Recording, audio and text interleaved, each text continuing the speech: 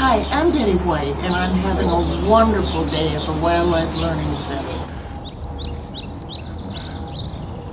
Those stripes and the spots are supposed to be shadows. It helps break up his profile out involved. It's a beautiful animal center right in our own neighborhood where you can come out and be in another whole world. Come out and visit and see these magnificent animals. Join our Green Team too.